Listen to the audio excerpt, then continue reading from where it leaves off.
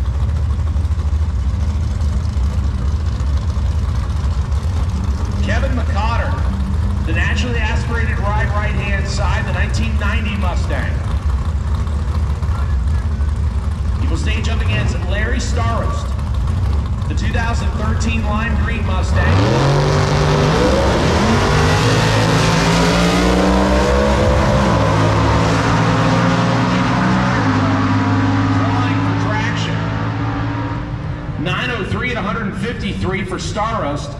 1028 at 148 miles an hour.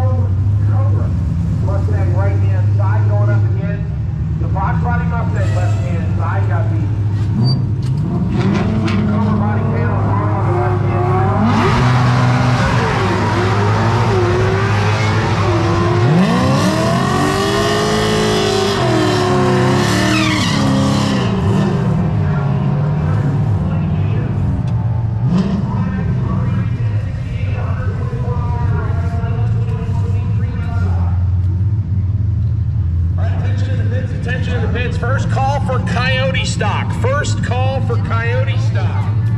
Need you to the stage, please.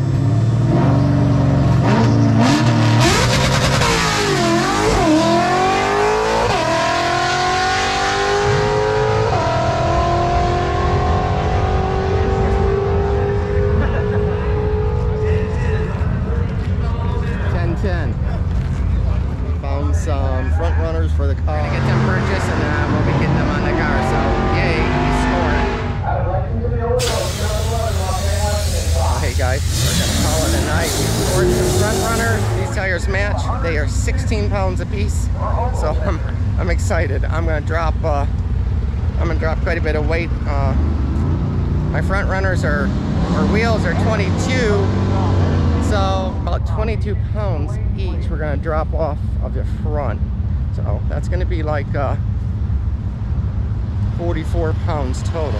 So anyways, we're gonna call it a night. I hope you guys like what we captured. Uh, it was pretty cool. I love those fast cars. Factory appearing stock. So like and subscribe guys. Hey, have a great night and uh, hope you enjoy. Take care.